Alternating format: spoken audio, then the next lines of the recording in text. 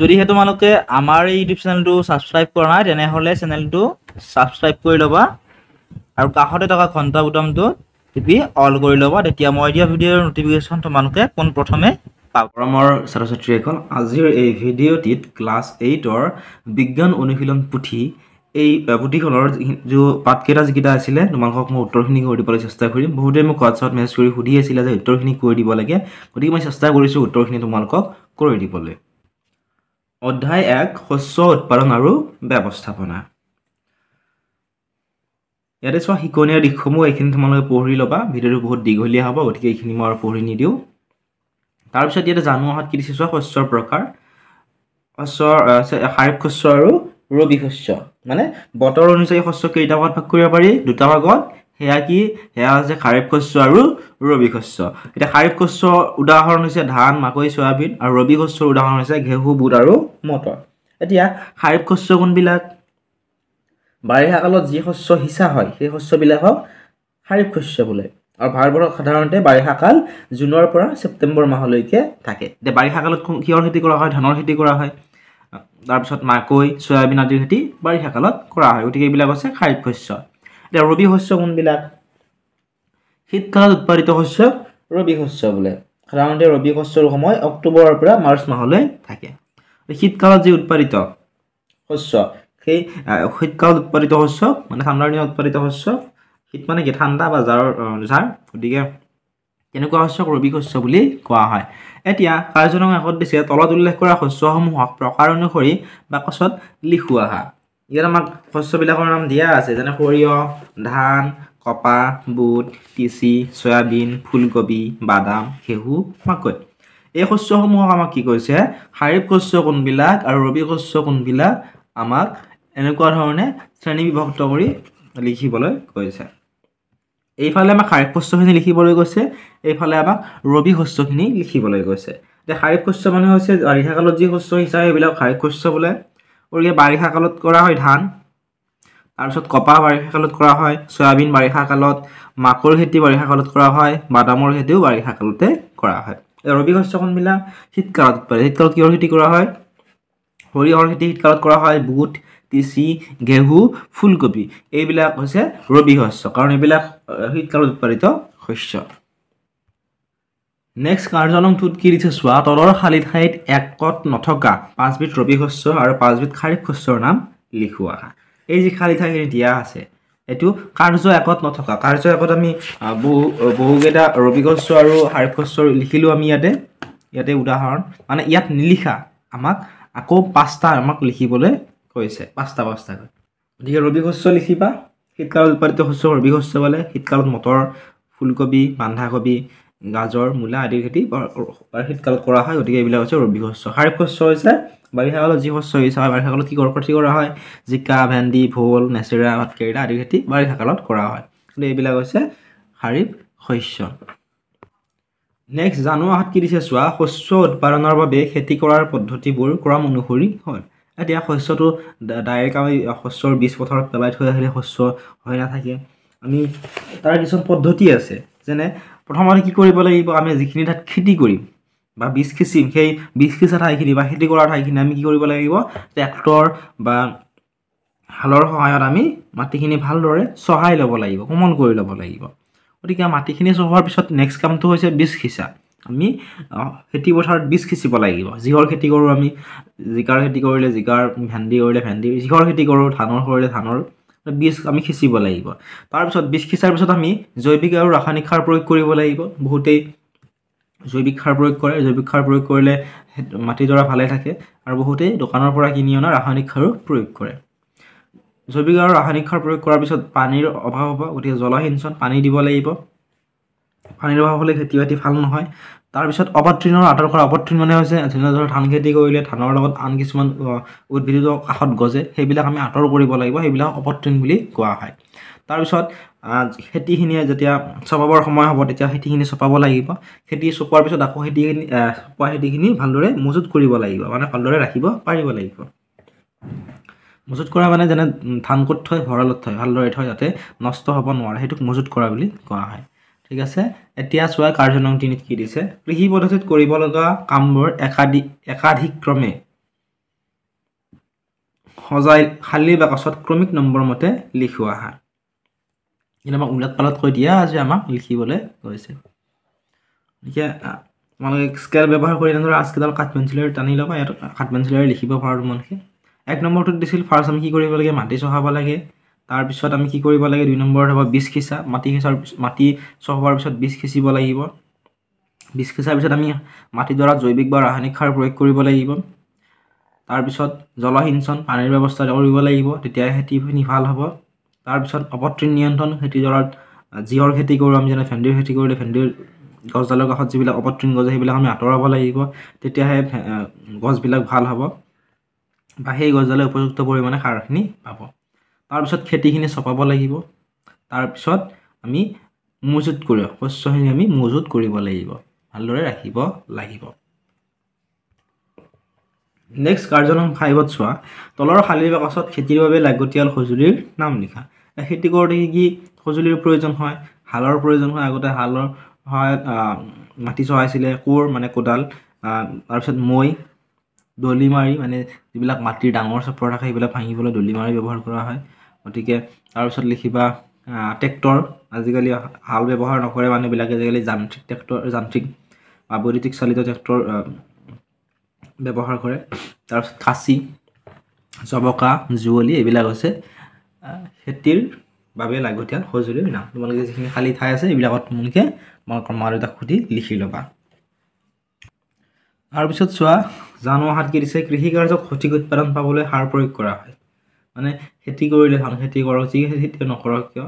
তাত কৰা হয় খেতিয়কবিলাকে সাৰ প্ৰয়োগ কৰে। সাৰ প্ৰয়োগ কৰিলে কি হয়? খেতি খেতিখিনিৰ বেছি ভাল হয়। এতিয়া সাৰ দুবিধ আছে এটা হৈছে জৈৱিক সাৰ আৰু এটা হৈছে ৰাসায়নিক সাৰ। জৈৱিক সাৰ আমি ঘৰতে প্ৰস্তুত কৰি ল'ব পাৰোঁ। ৰাসায়নিক সাৰ আমি ঘৰত প্ৰস্তুত কৰি ল'ব নোৱাৰোঁ আমি দোকানৰ পৰা কিনিবলগীয়া হয়।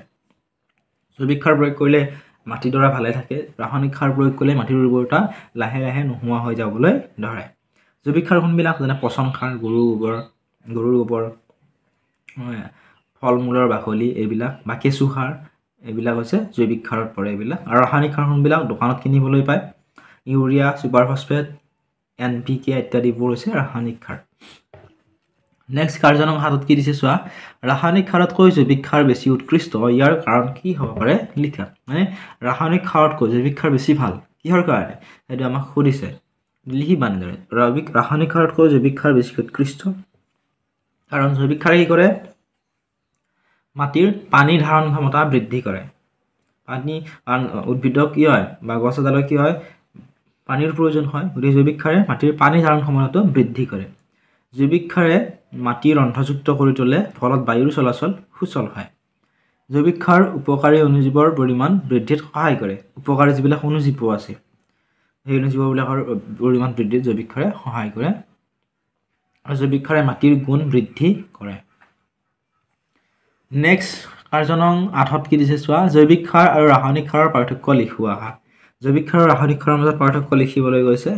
এক নম্বৰত লিখিবা জৈৱিক সাৰ পথাৰতে প্ৰস্তুত কৰিব পাৰি। বা পথাৰত বুলি নিলিখি ঘৰতে প্ৰস্তুত কৰিব পাৰি বুলি তোমালোকে লিখিব পাৰা। আৰু ৰাসায়নিক সাৰ কাৰখানাত প্ৰস্তুত কৰা হয়। ৰাসায়নিক সাৰ আমি ঘৰত প্ৰস্তুত কৰিব নোৱাৰোঁ। দুই নম্বৰ লিখিবা। জৈৱিক সাৰে প্ৰচুৰ পৰিমাণৰ শিং মাছ যোগান ধৰিব পাৰে। সেইটোত যদি আমি জৈৱিক সাৰ প্ৰয়োগ কৰোঁ জৈৱিক সাৰ প্ৰয়োগ কৰিলে কি হয়? মাটিডৰাত প্ৰচুৰ পৰিমাণে শিং মাছ যোগান ধৰে। ৰাসায়নিক সাৰে মাটিত শিং মাছৰ পৰিমাণ যোগান ধৰিব নোৱাৰে। জৈৱিক সাৰ এবিধ প্ৰাকৃতিক দ্ৰব্য। আৰু ৰাসায়নিক সাৰ এবিধ অজৈৱিক গতিকে আৰু আছে তোমালোকক যদি লাগে কমেণ্ট কৰিবা পাৰ্থক্য। পৰীক্ষাটো তোমালোকৰ প্ৰায়ে আহে জৈৱিক সাৰ ৰাসায়নিক সাৰৰ মাজত পাৰ্থক্য। তোমালোকে এইটো প্ৰায়ে মনত ৰাখিবা। নেক্সট চোৱা জানু অহাত কি দিছে? বীজৰ অংকুৰণ পোষক দ্ৰব্যৰ প্ৰবাহ গছজোপাক তুষাৰ আৰু উষ্ণ প্ৰবাহৰ পৰা ৰক্ষা কৰা নিৰোগী শস্যৰ বিকাশ আৰু মাটিৰ আৰ্দ্ৰতা ৰক্ষাৰ বাবে খেতিত পানী যোগান দৰকাৰী। বিভিন্ন সময়ত খেতিত পানী যোগান ধৰা কাৰ্যকে জলসিঞ্চন বোলে। তোমালোকে পাঠটিত পাইছিলা জলসিঞ্চন? জলসিঞ্চন মানে মই আগতে বুজাই দিছিলোঁ তোমালোকক যে খেতিত পানী যোগান ধৰা যিটো কাৰ্য সেই কাৰ্যটোক জলসিঞ্চন বুলি কোৱা হয়। কাৰ্যনক নলত দিছে তলৰ চিত্ৰসমূহৰ পৰা কোনবোৰ জলসিঞ্চনৰ পৰম্পৰাগত আৰু কোনবোৰ আধুনিক পদ্ধতি লিখোৱা হয়? এইবিলাক হৈছে পৰম্পৰাগত পদ্ধতি প্ৰথম তিনিটা আৰু তলৰ কেইটা হৈছে আধুনিক পদ্ধতি। এইবিলাক হৈছে জলসিঞ্চনৰ আধুনিক পদ্ধতি। নেক্সট কুৱেশ্যন চোৱা কাৰ্যনং দহত দিছিল খেতি পথাৰৰ পৰা অপতৃণ নোহোৱা কৰিবলৈ কি কৰা হয় লিখোৱা খেতি পথাৰৰ পৰা অপতৃণ মানে ধান গছ ধান গছ আমি ৰোপণ কৰিলোঁ বা ধানৰ বীজ সিঁচিলোঁ সিজাৰ পিছত যেতিয়া আমি ধানখিনি ৰোপণ কৰোঁ ৰোপণ কৰাৰ পিছত সেই ধানৰ লগতে আন কিছুমান ঘাঁহ বনো তাত গজে। সেইবিলাক অপতৃণ বুলি কোৱা হয়। আৰু সেইবিলাক আমাৰ প্ৰয়োজন নহয়। সেইবিলাক থোৱাৰ কাৰণে কি হয় সেই খেতিখিনি ভাল নহয়। কাৰণ সেইখিনিও কি কৰে সেই খেতিডৰাত প্ৰয়োগ কৰা সাৰখিনি সেইবিলাক সেইখিনিও অপতৃণখিনিও ব্যৱহাৰ কৰে। গতিকে অপতৃণ নোহোৱা কৰিবলৈ আমি কি কি কৰা হয় লিখোৱা আহা এনেদৰে লিখিবা। খেতি পথাৰৰ পৰা অপতৃণ নোহোৱা কৰিবলৈ বীজ সিঁচাৰ আগতে মাটি চহাওঁতে অপতৃণবোৰ উঘালি মাৰি পেলোৱা হয়। তোমালোকে মন কৰিবাচোন ধান খেতি কৰোঁতে হওক বা আন খেতি কৰোঁতে হওক। মাটিডৰা কি কৰে? চহাই লয়। সেই চহাই লোৱাৰ সময়ত খেতিয়কে কি কৰে? সেই ঠাইখিনি যিবিলাক অপতৃণ আছে যিবিলাক ঘাঁহ বন আছে সেইবিলাক উঘালি মাৰি পেলায়। মানে উঘালি ৰ'দত থৈ দিয়ে তেতিয়া কি হয়? শুকাই যায়। গতিকে তেনেকুৱা ধৰণে মৰি যায়। সময়ে সময়ে উঘালি বা গুৰিতে কাটি অপতৃণবোৰ খেতিৰ পৰা আঁতৰাব পাৰি। আৰু কিছুমান অপতৃণ কি হয়? খেতিখিনি কৰাৰ পিছতো অপতৃণবিলাক গজে। গতিকে সেইবিলাক আমি সময়ে সময়ে উঘালিব লাগিব। বা গুৰিতে কাটি সেইবিলাক আমি খেতিৰ পৰা আঁতৰাব পাৰোঁ। আৰু অপতৃণ নোহোৱা কৰিবলৈ অপতৃণনাশক বা বননাশক ৰাসায়নিক দ্ৰব্য যেনে টু ফ'ৰ ডি ব্যৱহাৰ কৰা হয়। বিভিন্ন ধৰণৰ ৰাসায়নিক দ্ৰব্য কিনিবলৈ পোৱা যায় বা অপতৃণনাশক কিনিবলৈ পোৱা যায় দোকানবিলাকত বা নিজে ঘৰত প্ৰস্তুত কৰি ল'ব পাৰি কিছুমান। গতিকে সেইবিলাক আমি খেতিডৰাত প্ৰয়োগ কৰিলে অপতৃণবিলাক নোহোৱা হৈ যায়। নেক্সট জানুৱাৰীত কি দিছে চোৱা কৃষি পদ্ধতিত শস্য চপোৱাৰ লগতে শস্যৰ মজুতকৰণ এটা আৱশ্যকীয় কাৰ্য। এতিয়া খেতিটো কৰিলে নহ'ব আৰু আমি কৰা খেতিখিনি যেনে আমি ধান খেতি কৰিলোঁ ধান খেতি ধানখিনি আমি একেদিনতো আমি ব্যৱহাৰ কৰি শেষ কৰিব নোৱাৰোঁ সেইখিনি আমি কি কৰিব লাগিব? মজুত কৰিব লাগিব। মজুত কৰিব আমি জানিব লাগিব যেনে ধান ক'ত থোৱা হয় ভঁৰালত থোৱা হয় ভঁৰালত থ'লে এন্দুৰ নিগনিৰ পৰা ৰক্ষা কৰে লগতে পানী আদি নপৰাৰ ফলত ধানখিনি ভালে থাকে। ঠিক তেনেদৰে আন যিবিলাক শস্য আছে সেইবিলাকো মজুতকৰণ কৰিব লাগিব। বীজবোৰৰ আৰ্দ্ৰতা কীট পতংগ অনুজীৱৰ পৰা ৰক্ষা কৰিবলৈ বায়ুৰুদ্ধ ভঁৰালত ৰখা হয়। যিবিলাক বীজ আছে শস্যৰ বীজ যেনে ধানৰ যিবিলাক বীজ থাকে সেইবিলাক সঠিক পৰিমাণৰ আৰ্দ্ৰতা থাকিব লাগিব। লগতে কীট পতংগ এইবোৰ উভতি বীজ খাই নোহোৱা কৰি পেলাই নষ্ট কৰি পেলাই আৰু অনুজীৱৰ পৰা ৰক্ষা কৰিব লাগিব। গতিকে কেনেদৰে ৰক্ষা কৰিব পাৰোঁ আমি সেই বীজবোৰক আমি বায়ুৰুদ্ধ ভঁৰালত ৰাখি আমি তাৰ পৰা আমি ৰক্ষা কৰিব পাৰোঁ। বীজবোৰ বায়ুৰুদ্ধ ভঁৰালত কিয় ৰাখিব লাগে লিখিও আহা এইখিনিৰ পৰা উত্তৰটো লিখিব পাৰা। তথাপিও এনেদৰে লিখিবা বীজবোৰ বায়ুৰুদ্ধ ভঁৰালত ৰাখিব লাগে কাৰণ বায়ুৰুদ্ধ ভঁৰালত ৰাখিলে শস্য নষ্ট নহয়। কিহৰ কাৰণে নষ্ট নহয়? কাৰণ কীট পতংগ অনুজীৱৰ পৰা ৰক্ষা কৰাৰ ফলত শস্যখিনি নষ্ট নহয়। আৰু অপকাৰী যিবিলাক এন্দুৰ